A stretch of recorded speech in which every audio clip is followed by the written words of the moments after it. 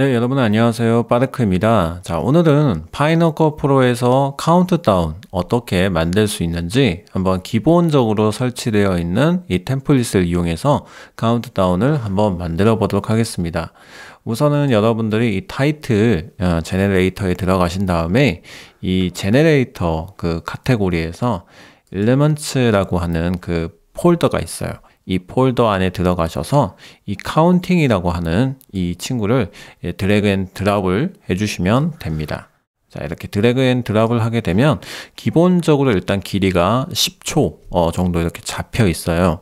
자, 그리고 이제 이 템플릿은 이 파라미터 이 부분을 이제 여러분들이 published parameter 네, 출력된 매개 변수들이 있는데 일단 여기에 있는 매개 변수들 한번 살펴보면서 어떻게 사용을 하는지 어, 같이 살펴보겠습니다.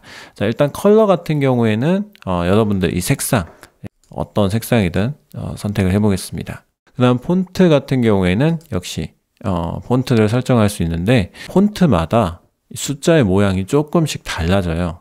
tracking 같은 경우에는 이 숫자 간의 이 간격을 줄여주는 역할을 합니다. 포맷이 어, 넘버로 되어 있습니다. 어, 넘버로 되어 있는데 뭐 다양하게 이렇게 고칠 수가 있어요. 퍼센트도 있고요. 그 다음에 뭐 spell out 네 이렇게 숫자가 커지고 있습니다. 어, 지금 숫자가 스타트가 1이고요. end가 300이에요. 어 그러면 이 end 값 마지막 값을 10으로 한번 해볼게요. 자 그러면 한번 어떻게 나오는지 재생을 해보겠습니다. 1, 2 숫자가 점점 커지고 있는 것을 볼 수가 있습니다. 일단 넘버로 나타낼게요. 자, 그런데 지금은 세 자리밖에 예, 세 자리만 나오고 있죠.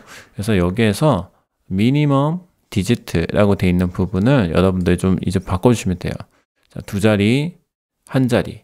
네, 한 자리로 바꾸게 되면 숫자가 다 나오는지 한번 볼까요? 10이죠. 네. 이렇게 숫자가 다 나오는 것을 볼 수가 있습니다. 자, 그러면 카운트다운을 만들기 위해서는 맨 처음에 시작하는 값은 이제 스타트를 10으로 두어야 되겠죠. 10. 그리고 end 값은 뭐 1. 1로 이렇게 만들어 볼게요. 그러면 이제 처음 프레임부터 재생을 해보면 10, 9, 8, 7, 6, 뭐 이런 식으로 나오게 됩니다. 자, 이렇게 해서, 어, 네. 재생을 해서 카운트다운을 쉽게 만들 수가 있죠. 네. 그리고 여기에다가 뭐 0 그 시작하는 어떤 것을 넣어주면 됩니다. inspector를 비디오 inspector로 이동하신 다음에 여기에서 이 스케일, all, 네. 이 값을 한 400까지 한번 키워볼게요. 400. 포지션은 약간 좀 낮추고 이렇게 한번 두겠습니다. 자, 이렇게 낮춘 다음에 여기에다가 어떤 이미지 같은 것들을 한번 넣어 볼게요. 자, 영상을 배치를 했는데, 어, 저는 이 영상과 카운트를 어떻게 할 거냐면, 이렇게 할 거예요. 어떻게 할 거냐면, 얘가 뭐 10이면 10, 뭐 9, 8, 7, 6, 뭐 이런 식으로 나올 수 있게 해볼 건데, 지금 영상 같은 경우에 길이가 일단은 넘어갑니다. 그래서 영상들 선택을 해주신 다음에 여러분들이 change duration 기능을 활용해 주시면 됩니다. change duration. 단축키는 Control D, Control D예요. 여기 Modify에 보면 change duration 기능이 있습니다. 이 기능을 클릭을 해주신 다음에 여기 보면 time code에 숫자가 지금 어, 색깔이 바뀌어 있는 상태입니다. 이 상태에서 뭐 100이라고 쳐주시면 딱 1초 길이로 조정이 됩니다. 이렇게 조정이 되죠. 자, 그리고 얘를, 어, 그 영상들을 좀 맞춰 주신 다음에, 그러면 이렇게 배치가 되겠죠. 자, 그러면 이 counting이라고 하는 이 template, 네, 얘를 여러분들이 여기 Inspector에 가보시면 blend mode가 normal로 되어 있는데 이 부분을 뭐 stencil alpha로 이렇게 두시면 이렇게 숫자 안에 영상 그 밑에 있는 영상이 이렇게 들어가게 됩니다. 자 그러면 10